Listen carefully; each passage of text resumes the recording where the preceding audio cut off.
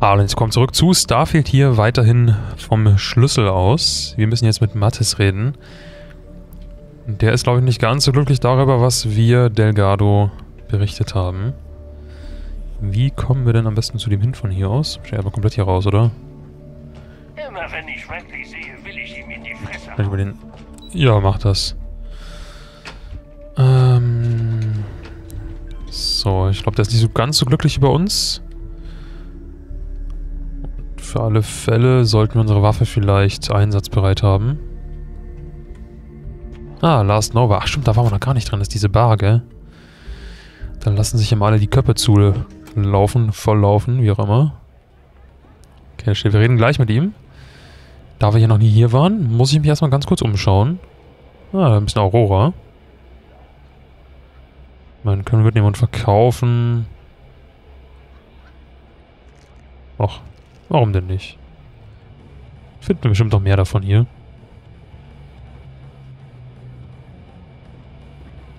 So, sag mal, ist die Framerate hier drin irgendwie ein bisschen schlecht? Kann das sein? Wirkt ein bisschen hakelig. Warum denn? Ach, wahrscheinlich, weil hier draußen so viel noch gerendert wird. Das ist schon eine geile Aussicht, ey. Also so eine Bar oder so? In echt? Irgendwann mal? Hätte was. In der Fleet muss man liefern, sonst ist man geliefert. Oh, aber echt, die Performance ist nicht so prickelnd hier. Ah, sowas habe ich gesucht. Grand 4? Irgendwann kritische- sind die ganzen besiedelten Alter, quatsch mich doch nicht alle voll, Mann. Was ist denn mit euch? Boah. Ah, kritische Treffer an ballistischen Waffen verursachen dauerhaft 5% mehr Schade. Nehme ich mit. Dankeschön. Digitritt ich nämlich auch mit. Box, Gerock. Oh, plus 20 Tragekapazität. Die Fleet ist eine Das wäre mal was für uns. Wenn ihr die Creds Na, wenn ihr meint. Neuling. Oh. Also, Was passiert hier? Was oder verpisst euch aus meiner Bar. Hast du dich verlaufen, Neuling? Die Bar ist hinten. Die Bar ist doch hier. Willst du was anfangen? Oder was ist hier? Weil ich's dann beende. Gibt's hier? Kaufsautomat? Nein. Mit dir will ich auch nichts anfangen. Ich schaue mich immer nur kurz um ein bisschen, ne? Schau mal, Leute, so geht das. Ah, das letzte Interview wahrscheinlich, was uns noch fehlt. Und hier dürfen wir uns wohl auch bedienen. Das Novo Bordcomputer. Oder Barcomputer. Drinks und Ratten. Ein paar Leute der Crew haben sich über die verdünnten Drinks beschwert, als ob ich was dafür könnte, dass wir so eine Plörre ausschenken. Ist nicht meine Schuld, dass niemand sich ins Zeug legt, um uns ordentlich zu versorgen. Vielleicht sollten sie weniger Zeit in der Bar und mehr an der Auftragsbörse verbringen. Ratten. Neva ist neuerdings nervös. Liegt sicher daran, dass sie für Rake gebürgt hat, aber sie hat mit Enttäuschungen Erfahrung. Nein, es liegt am Timing. Wir sind aktuell echt dünn besetzt und die ganze Crew weiß das. Vielleicht wird aus diesem Neuling ja was. Aber wenn hier alles weiter den Bach runtergeht, werden die Ratten bald das sinkende Schiff verlassen. Ah, ah, läuft wohl nicht ganz so prickelnd hier bei der Fleet. Warum nur? Ich frag mich.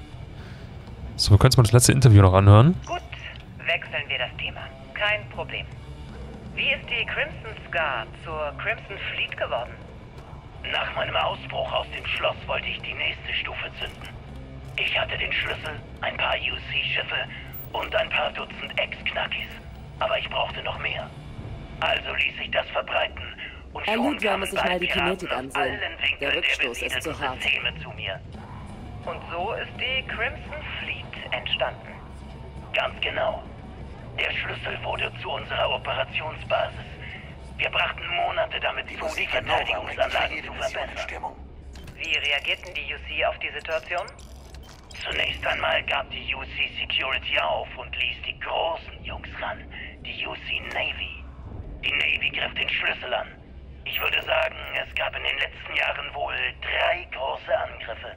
Und wie unschwer an der Tatsache zu erkennen, dass wir dieses Interview führen, waren sie alle Blamagen. Glaubst du, dass diese Blamagen zur Gründung der UC SysDef geführt haben? Oh, definitiv. Sie haben offenbar aufgegeben und die Verantwortung auf eine separate Division abgeschoben.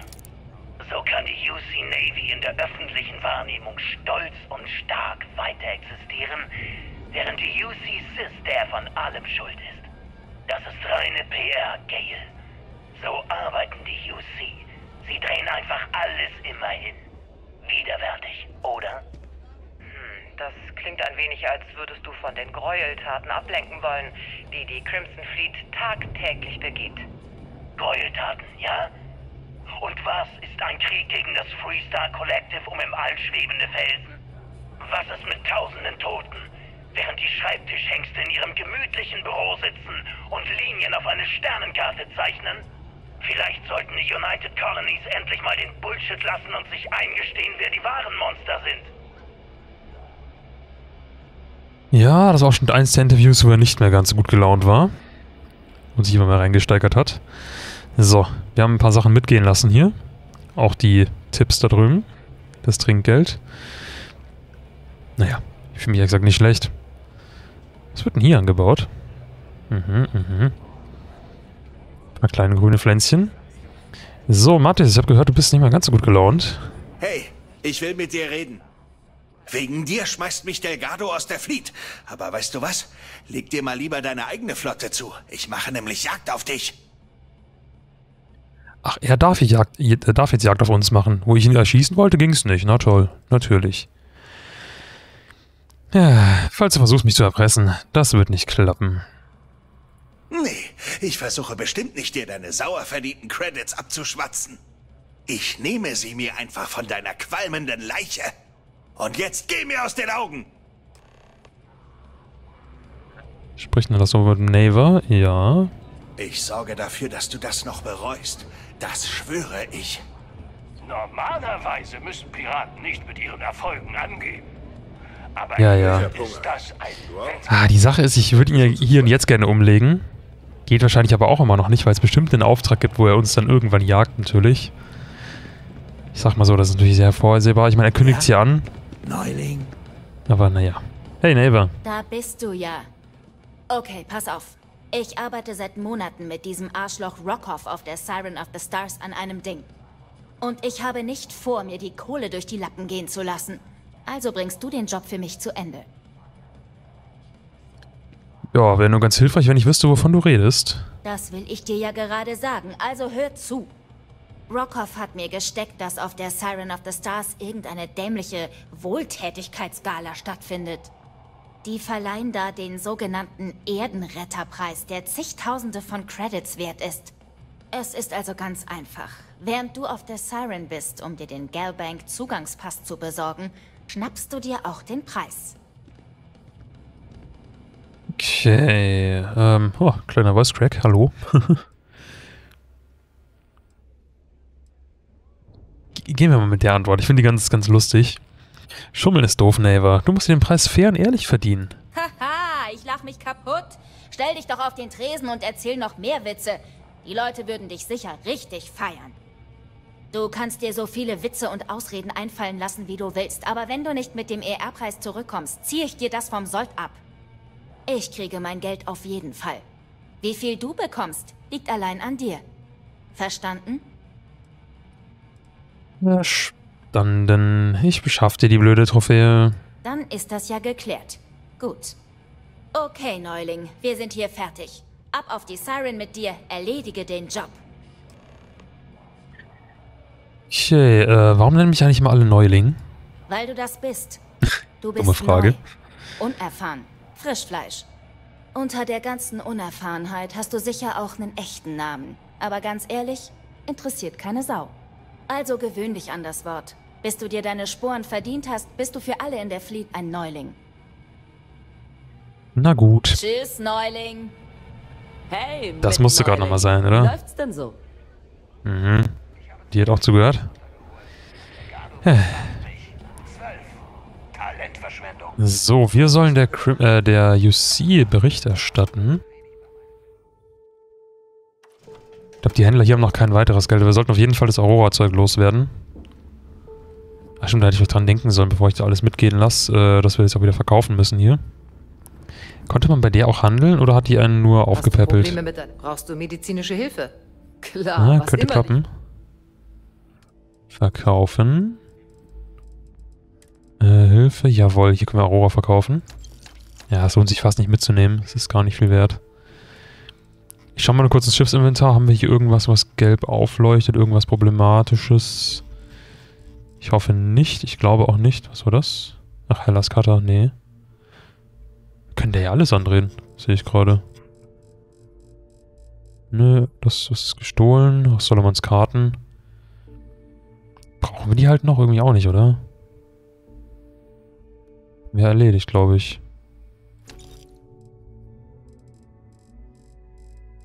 Lalalala. Nö, hier brauchen wir nichts mehr. Aber dann können wir ein paar Sachen, ein bisschen Müll verkaufen. Zwei davon haben wir noch 400 übrig. Hier eine Grendel noch. Ich glaube, mehr Kleinigkeiten jetzt raussuchen macht keinen Sinn. Irgendwelche Bücher bestimmt. Ach, sowas hier, genau. Zack, das kann weg. Nein, die behalten wir. Ja, können wir sich wegen 81 jetzt hier rumtun. Oh, warte, können wir? Medizin? Warte. Können wir was gucken? Äh, hier Anzüge. Hä, nee, nicht, nicht hier, sondern aus dem Schiffsinventar. Anzüge, nee, die sind zu teuer. Ach, falschen Button gewählt. Kleidung. Genau, die Kleidung kostet ja immer relativ wenig. Werden wir zumindest mal davon ein bisschen was los. Zack. Stirb da draußen nicht. So, ein bisschen dran denken, dass wir unser Schiffsinventar auch Stück für Stück ab und zu mal ein bisschen leeren und frei halten. Äh, müssen wir hier eigentlich irgendwas machen? Haben wir da einen Skill für? Ich guck mal nämlich ganz kurz. Ob wir in die Richtung schon irgendwas gemacht haben. Ich glaube nicht, oder? Medizin und dann wahrscheinlich, sobald man das einmal gemacht hat, muss man hier wahrscheinlich was freischalten am Labor oder ein bisschen was craften. Aber das haben wir alles nicht. Was wir aber, glaube ich, noch craften müssen... Oh, warte mal, das nächste schaue ich jetzt gleich. Sorry. Ich muss nochmal ins Menü. Waffentechnik müssen wir noch? Ja, wir müssen noch zwei Waffenmods herstellen. Und Anzugdesign könnte man auch mal irgendwann freischalten. Das habe ich auch nicht verkehrt, weil da kann man sich auch gut aufpeppeln mit. Ähm, hier gibt es auch anfangen? bestimmt irgendwo noch Werkbänke. Ihr gebt alle kein Geld mehr, oder? Ich guck nochmal. du... Ich wette, ich... Ja, die haben wir alle leer gemacht, die Händler hier. Brauchst du Waffen oder Muni? Komm zu mir. Wenn nicht mal Munition brauchen wir, ehrlich gesagt, aktuell. Da sind wir auch sehr gut ausgestattet. Jetzt ist nur die Frage, wo waren die Werkbänke? Waren die eventuell hier hinten? Jetzt hier in den Baracken, also in irgendeiner Ecke waren, glaube ich, mal welche. Aber ich weiß nicht mehr wo. Aber ich glaube auch hier nicht, oder? Ja? Nee.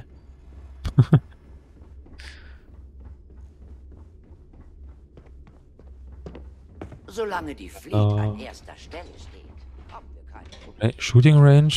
Waren wir da schon mal drin?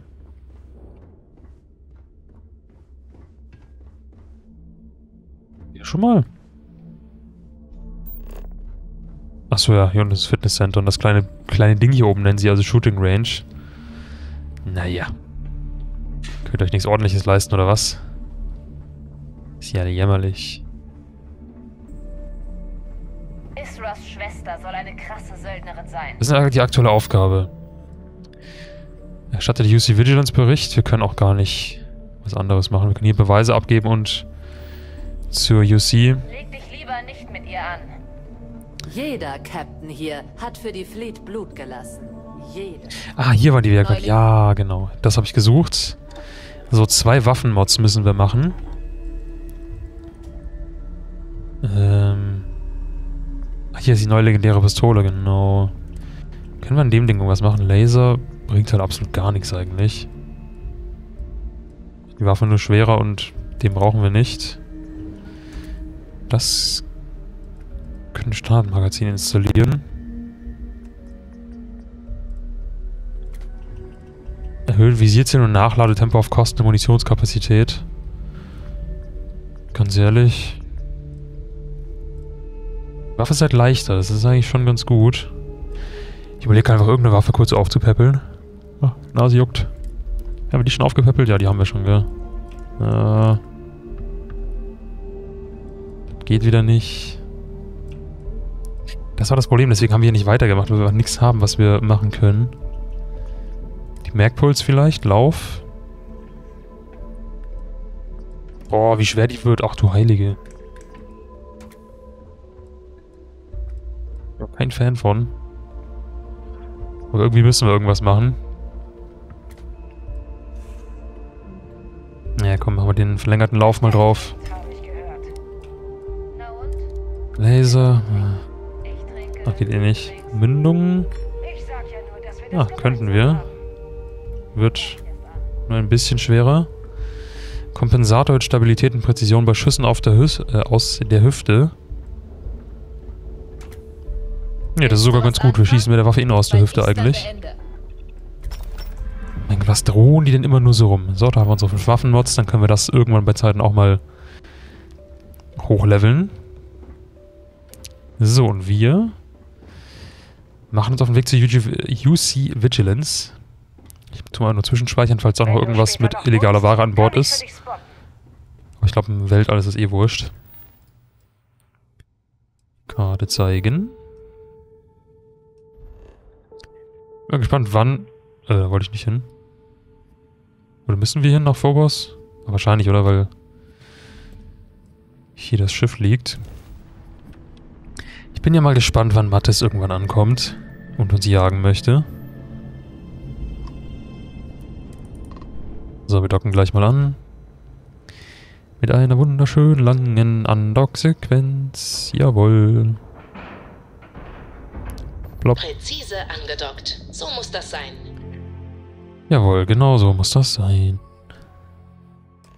Oh, ich muss wieder Leute meinem Schiff zuweisen, ne? Fällt mir gerade ein. Wir haben ja nur die halbe Crew an Bord. So, Andrea ist da. Barrett ist kann gelandeten Schiffen über zugewiesen werden. Wir sind nicht gelandet, schätze ich. Okay. Dann zählt das wohl nicht als gelandet. Naja. Das sollten wir bei Zeiten machen, damit wir ähm, wieder eine volle Mannschaft haben. Vor allem was auch diese ganzen Waffensysteme betrifft im Schiff, ist das bestimmt nicht verkehrt. Angeblich lässt dich die Fleet Gespenstern nachjagen. Tja, wenn eines gruseliger als ein Pirat ist. Aha. Okay. Hey, Commander. Du bist zurück? Und wie lief's?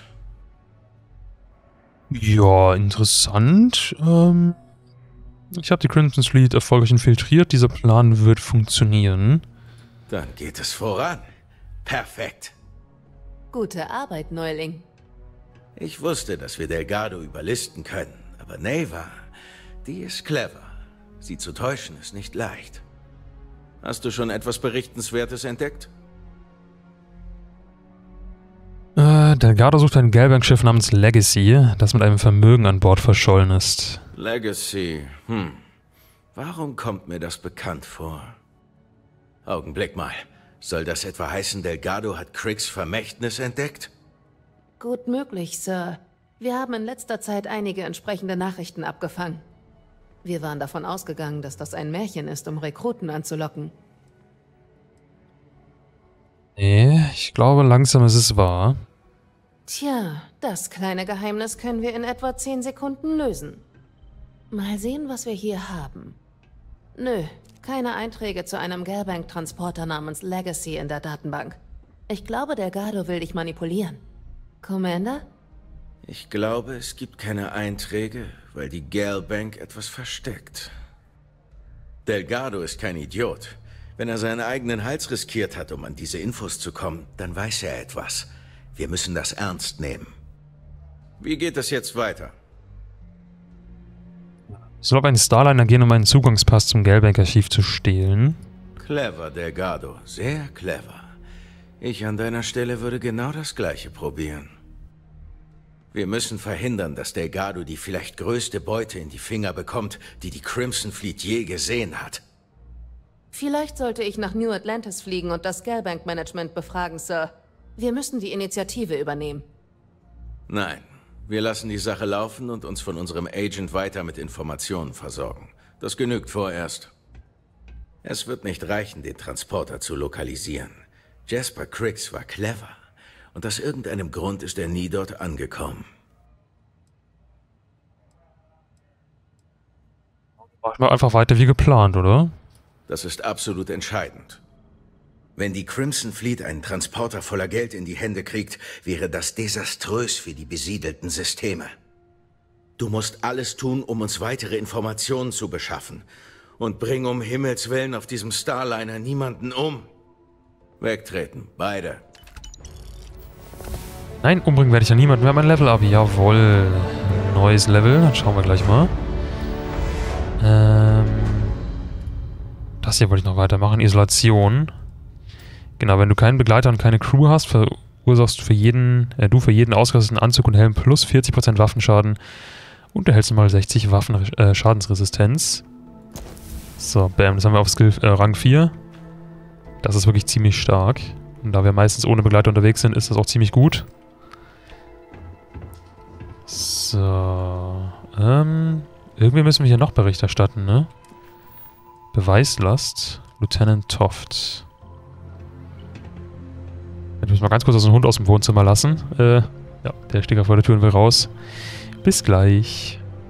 So, weiter geht's. Auf Lieutenant, ich habe noch ähm, ein paar Infos. Was Neues zu berichten? Ich habe eine Menge Beweise für dich. Ausgezeichnet. Ich werde es in unserer Datenbank hochladen. Kriegen wir pro Beweis äh, Geld oder EP, hoffe ich mal. Also das hier stammt schon mal aus dem Schlossgefängnis auf Suvorov. Unglaublich, dass all diese Märchen über Cricks Vermächtnis cool. nur auf ein Gerücht zurückgehen, das Jasper Cricks im Knast aufschnappte. Das zeigt nur, wie ein winziges Gerücht zu einem riesengroßen Märchen werden kann. Hast du noch mehr? Oh ja, das hier ist aus dem Büro des Direktors im Schloss auf Suvorov. Unfassbar. Einige der UC-Wächter im Schloss haben den Aufstand also mit angezettelt. Obwohl ihn alle für ein kriminelles Genie halten, brauchte selbst der große Jasper Cricks Hilfe beim Gefängnisausbruch. Hast du noch was? Diesem Beweis zufolge gibt es einen Maulwurf, der Jasmine Durand versorgt. Oder Durant. Es war unmöglich nur eine Person. Es ist zu aufwendig, diese Teile zu transportieren. Ich schicke das zum Mast, damit sie es überprüfen. Durant sollte sich ab jetzt lieber anderswo nach Teilen umsehen. War's das? Äh, das ist alles, was ich noch zu Shinya Voss habe. Voss hat es also geschafft, sich direkt mit dem Mainframe des Schlüssels zu verbinden? Ich hätte nicht gedacht, dass er so viel Ahnung von Computern hat. Wir schicken diese Infos an die Gelbank. Hoffentlich können sie so ihre Kryptowährungen besser schützen. Sonst noch etwas? Ähm, ich habe noch etwas über Raidley Jaso herausgefunden. Jaso ist in Wahrheit also Leonel Okay, jeden Namen Soto. falsch ausgesprochen. Wir hielten Soto für tot. Zumindest stand das in der Akte. Ich bringe das auf den neuesten Stand. Aber da Yasu mit der Crimson Fleet zu tun hat, können wir da noch nicht viel tun. Weißt du noch mehr? Nee, das war's fürs Erste. Gut, gut. Da draußen wartet noch mehr auf dich. Bleib dran. Mach ich. Wenn noch was ist, sag Bescheid. Jawohl. Haben wir jetzt eigentlich bekommen? Schon eine Menge, glaube ich. Oh ja, haben schon ein knappes Viertel von Level 27 geschafft. So, und jetzt müssen wir zur Siren of the Stars reisen. Wo liegt die denn? Olympus? Nee, auf Arane. So, wir springen mal dahin. Ah, wir können nicht landen, ne? Ah, ich wollte meine Crew noch wieder ins... Warte, wir machen das ganz kurz mit der Crew, damit wir es einfach gemacht haben. Gibt es hier einen Planeten, wo wir... Reicht es, wenn wir auf irgendeinem Planeten landen? Oder muss es einer sein mit Raumhafen? Okay, hier gibt es keinen Planeten, dann jumpen wir mal ganz kurz auf diesen Mond, da ist ja egal.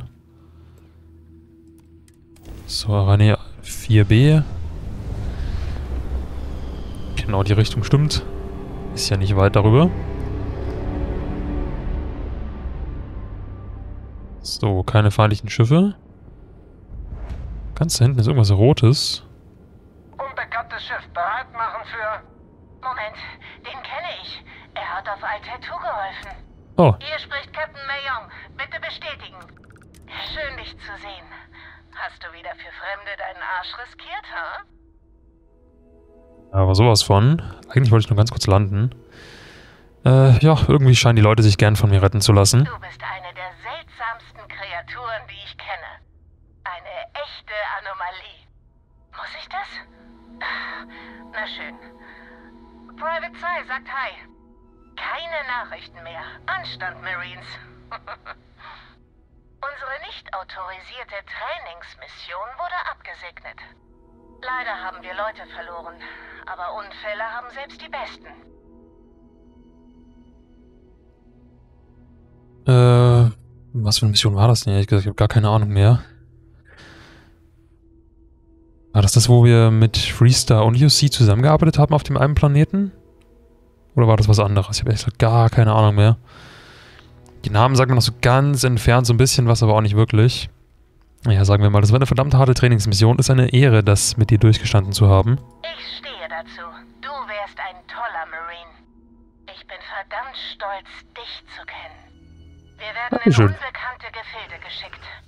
Aber wäre ein Abschiedsgeschenk okay? Ach, natürlich. Na gut, aber vielleicht kreuzen sich unsere Wege irgendwann nochmal. Ein schöner Gedanke. Aber die Galaxie ist groß. Viele gute Leute verdanken dir ihr Leben. Vielleicht können wir uns mal revanchieren. Meyong Ende.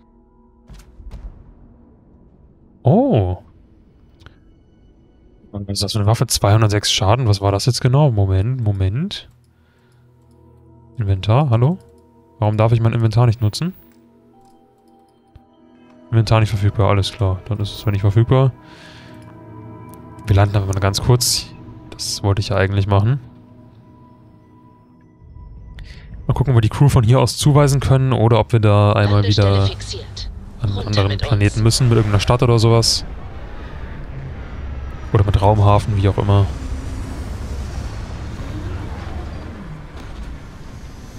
Wieder mal eine schöne lange Landesequenz. So, jetzt haben wir das Inventar. Ich muss dann auf jeden Fall... Ah, Moment, bevor wir überhaupt irgendwo hinlaufen, nehme ich den erstmal nur auf. Dann können wir ganz kurz bei diesem Planeten hier mal rausschauen, aber ich glaube, viel werden wir hier draußen nicht finden. Äh... So, da wollte ich hin. Transfer. Nee, halt Inventar. So, das kann weg, das kann weg. Was haben wir jetzt bekommen? Das hier. Das ist eine Schrotflinte, oder? Oder so eine Art Schrotflinte. Gewehrer steht da. Warte mal, ist es... Ich rüste das Ding mal aus. Jetzt interessiert es mich. Ähm...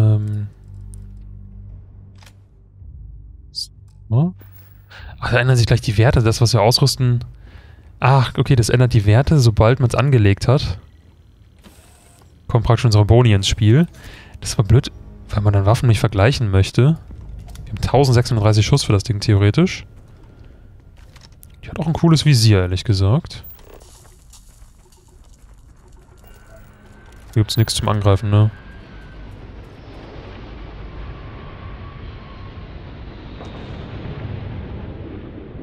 Freund oder du Feind? Das ist eine Single-Shot-Waffe, also keine Schrotflinte.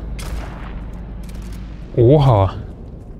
282 Damage macht die. Leute, ich weiß, was neu in unserem Favoritenrad liegt. Ich muss hier irgendwann mal durchsortieren, ne? Die kann mal auf jeden Fall nicht mehr da liegen. Die brauchen wir da nicht auf dem Slot. Wir brauchen vor allem... Die muss auch nicht so weit hinten liegen eigentlich, ne? Die kommt mal auf die 4. Stimmt, die haben wir auch noch dabei. Die Kielhorle mit 108 Schaden.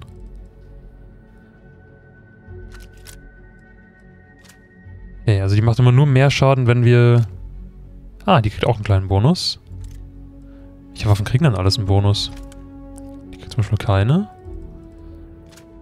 Diese da wird schlechter. Hä? Okay.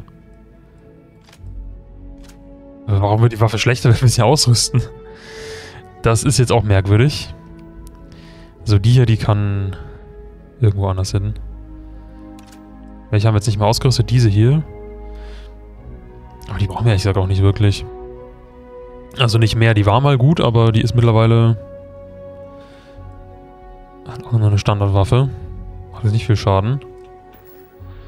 So, wir haben jetzt die Waffen sortiert. Eins, zwei, die hier.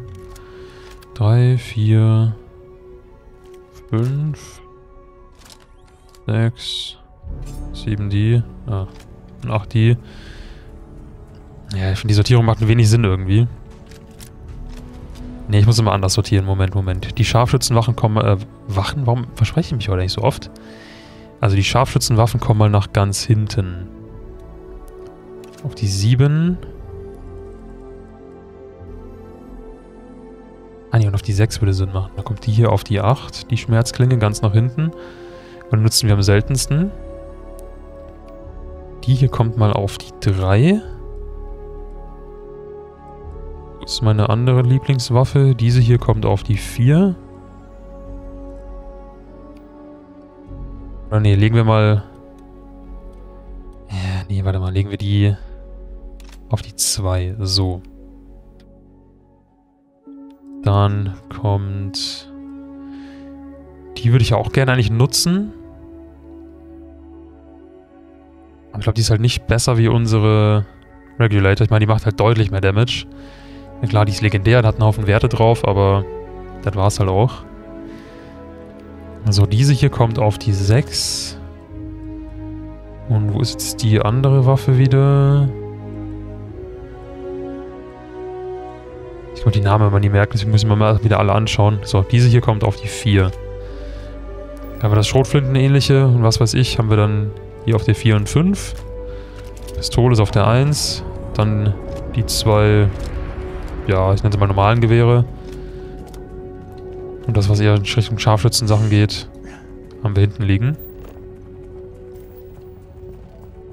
Okay, wir haben nur, oh, wir haben nur drei Ressourcen, die wir hier scannen müssen. Da ist Helium, da haben wir schon zwei. Dann noch den Rohstoff Eisen, dann sind wir... Kriegen kurz ein paar Analysedaten geschenkt. Das ist doch super. So, Eisen, hallo. Zack. Da haben wir jetzt das mitgenommen hier. War die Zeit nicht ganz vergeudet hier unten. Das sieht nach irgendeinem Außenposten aus, den man einnehmen könnte. Ich möchte mal nur kurz vorbeischauen. Sind da Feinde? Ich möchte die Waffe einmal austesten noch.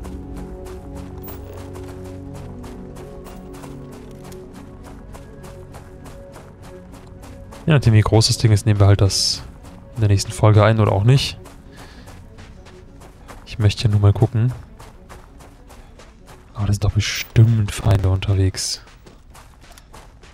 Ist doch fast immer auf solchen Stationen.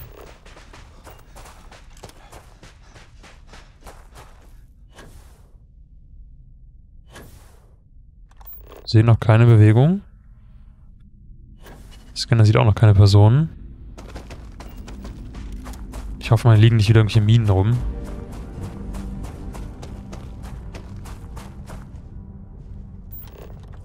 Hier einiges nachgeladen.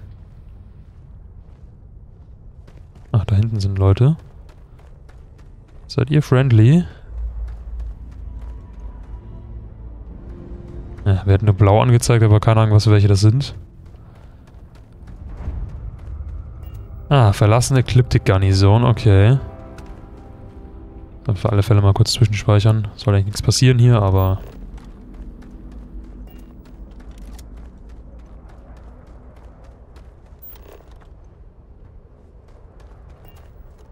Ah, da ist ein Roboter, okay.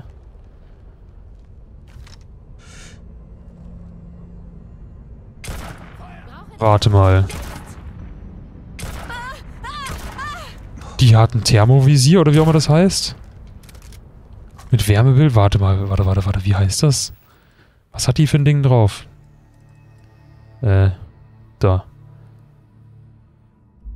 Aufklärungszielfernrohr. Das markiert die also dann, wenn wir die einmal getrackt haben, oder wie? Ach du Heilige, wie geil. Oh, die one-shottet einfach alles hier. Alter, die Waffe ist ein Traum. Und wir haben so viel Munition dafür. Wo ist denn der Rest? Wo seid ihr noch? Ach, da. Ah, der Schuss war irgendwie daneben.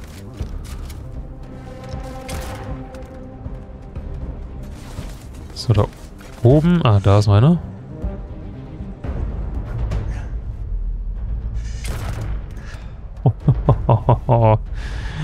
Junge, ist das eine Waffe. Alter Schwede. Die mit mehr äh, Munition. Absoluter Traum. Also die würde ich gerne so gut es geht modifizieren. Was? Wo?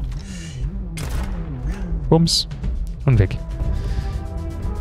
Okay, das war gut, dass wir bei diesem Planeten nachgeschaut haben. Und das Gute ist, wir haben immer noch nicht gemacht, was wir eigentlich machen wollten. Und zwar gucken wegen der Crew. Ob wir die hier zuweisen können, ganz schnell. Das machen wir jetzt noch. Ah ja, jetzt geht's wieder so. Barrett kommt einmal mit dazu. Äh, Sam Cow kommt mit dazu, wegen seinem Logistik-Skill vor allem. Und ich weiß nicht, was der Fliegen-Skill bringt, das muss ich mal nachschauen. Äh, Sarah ist im Schiff. Daria ist eigentlich auch da. Ach, meine Schiffsstufe ist erreicht. Aber die ist im Schiff, also 1, 2, 3 und Sarah zählt nicht. Genau, passt. Perfekt. Gut. Dann würde ich mal sagen, mit dieser wunderschönen neuen Waffe verabschiede ich mich aus dieser Folge und in der nächsten Folge looten wir hier den Außenposten und reisen dann, denke ich, auch mal zeitnah zum Gelbank-Schiff. Und ja, bis dahin, vielen Dank fürs Zuschauen und macht's gut. Tschüss.